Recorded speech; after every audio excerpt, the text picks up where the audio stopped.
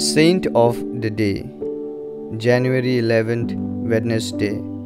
Today we celebrate the feast of Saint Theodosius the Cenobiarch. Saint Theodosius of Cappadocia, Turkey, spent 30 years as a hermit in the so called Cave of the Magi between Jerusalem and Bethlehem. His sanctity, however, kept attracting such a growing number of disciples that he finally had to erect a large monastery for them in the desert of Judah by the Dead Sea.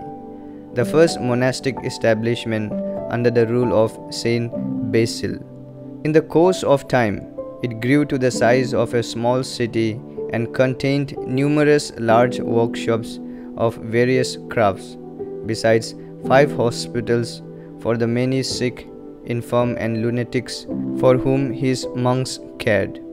There were three separate churches for the Greeks, the Armenians, and the Arabs to recite the divine office in their respective tongues, while a fourth one served the penitents who had not yet been reconciled.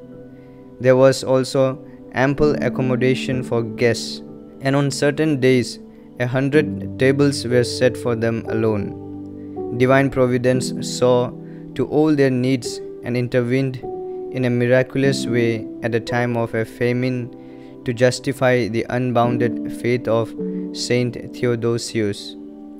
The Patriarch of Jerusalem made Theodosius the head of all monks living in common, while Saint Sabas was set over the hermits.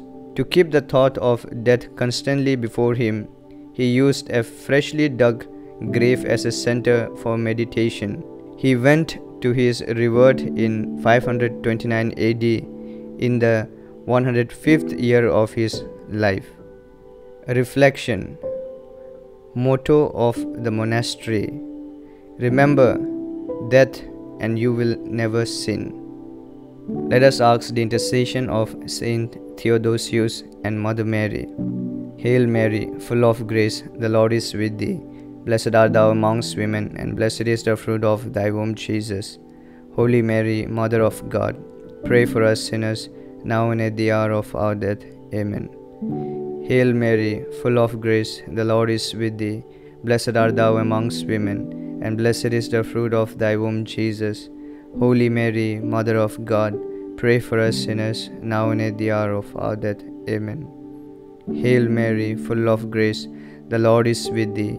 Blessed art thou amongst women, and blessed is the fruit of thy womb, Jesus.